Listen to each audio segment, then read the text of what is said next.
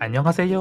สวัสดีทุกๆ คนครับผมขอต้อนรับเข้าสู่เกาหลี Everyday และนี่คือเกาหลี 4 นาที รายการที่จะพาทุกๆ คนไปรู้จักกับเรื่องราวต่างๆ ของประเทศเกาหลีในเวลาเพียง 4 นาทีครับ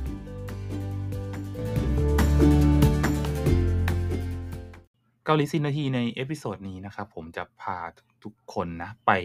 รู้จักกับ 1 สถานที่ยอดนิยมสำหรับการพักผ่อนหย่อนใจของ คนเกาหลีนะครับผมรวมไปถึงนักท่องเที่ยวเกาหลีหลาย ๆ คนด้วยนะครับ สถานที่แห่งนี้นะครับผมก็คือสะพานน้ำพุสายรุ้งบันโพนะครับหรือว่าภาษาเกาหลีคือบันโพเทเกียวนั่นเองนะครับผมซึ่งจุดเด่นของสะพานน้ำพุสายรุ้งแห่งนี้นะครับผมก็คือเป็นสะพานน้ำพุที่มีความยาวมากที่สุดในโลกที่ได้รับการยอมรับจาก Guinness Book World Record นั่นเองนะครับ ซึ่งสถานที่นี้จะน่าสนใจขนาดไหน เดี๋ยวเราไปดูรายละเอียดกันครับบันโพเดเกียวนะครับผมหรือว่าสะพานบันโพนะก็จะเป็นสะพานสองชั้นนะครับที่ตั้งอยู่ที่แม่น้ำฮันนะใจกลางกรุงโซลประเทศเกาหลีใต้นั่นเองนะครับโดยสะพานแห่งนี้ก็จะเชื่อมต่อนะครับระหว่างเขตซอโช และเขตยงซานนะ ซึ่งสะพานด้านล่างของสะพานบันโพนะครับ ก็คือสะพานจำซูนั่นเองนะ ซึ่งตัวสะพานนะครับผมจะมีความยาวเนี่ยอยู่ที่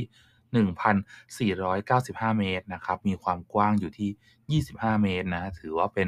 สะพาน 2 ชั้นแห่งแรกในเกาหลีใต้ด้วยนะครับ โดยสะพานบันโพนะครับผมเริ่มก่อสร้างเนี่ยเมื่อวันที่ 11 มกราคมปี 1980 นะครับ แล้วก็สร้างแล้วเสร็จนะ 25 มิถุนายน 82 นะครับ ใช้เวลาก่อสร้างเนี่ยประมาณ 2 ปีนะ แล้วก็ใช้งบประมาณในการก่อสร้างเนี่ยทั้งหมด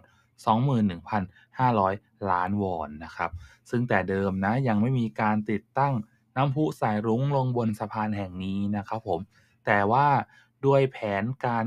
ของนายโอเซฮุนนะครับผมซึ่งเป็นนายกเทศมนตรีกรุงโซลในขณะนั้นนะที่จะต้องการทำให้สะพานแห่งนี้กลายเป็นสถานที่ ที่ทำให้กรุงโซลนั้นมีความสวยงามโดดเด่นมากยิ่งขึ้นนะครับผมรวมไปถึงแสดงถึงความเป็นมิตรต่อสิ่งแวดล้อมด้วยนะครับ ซึ่งก็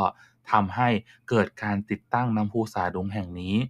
ที่สะพานนะเมื่อเดือนกันยายนคศ 2009 นั่นเองครับ โดยสะพานนะก็ได้มีการติดตั้งเครื่องสูบน้ำทั้งหมด 38 เครื่องมีหัวฉีดน้ำกว่า 380 หัวนะครับรวมกันทั้ง 2 ด้านของสะพาน โดยมีความยาวด้านละ 570 เมตรนะครับ เครื่องสูบน้ำเนี่ยก็จะสามารถดูดน้ำจากแม่น้ำฮันได้ทั้งหมด 190 ตันต่อนาทีนะ ฉีดน้ำไปได้ไกลถึง 43 เมตรในแนวระนาบนะครับ นอกจากนี้ยังมีการประดับด้วยหลอดไฟ LED อีกกว่า 10,000 หลอดนะครับ ที่ทำงานร่วมกับเสียงเพลงตามโปรแกรมที่ได้ตั้งเอาไว้นะ ซึ่งสามารถแสดงผลได้หลากหลายรูปแบบประสานกันแตกต่างกันออกไปครับ น้ำพุสายรุ้งนะที่สะพานบันโพแห่งนี้นะครับ ก็ จะเปิดตลอดทุกวันในช่วงประมาณเดือนเมษายนถึงเดือนตุลาคมนะประมาณ 5-8 ครั้งต่อวันนะครับ โดยแต่ละครั้งเนี่ยก็จะเปิดนานประมาณ 15-20 นาทีนะครับ ซึ่งภายในบริเวณรอบๆสะพานนะก็จะมีสวนสาธารณะกลางแจ้งนะครับ มีพื้นที่สำหรับการปิกนิกพักผ่อนหย่อนใจ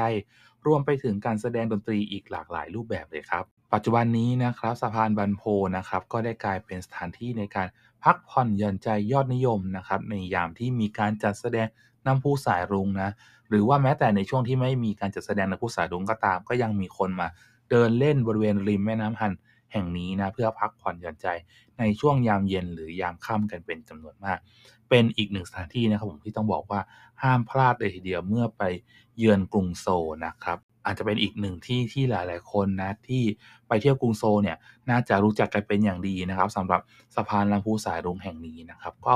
ถ้าใครยังไม่เคยไปนะ แนะนำว่าที่นี่จะเป็นอีกหนึ่งที่ที่ชื่นชอบอย่างแน่นอนครับ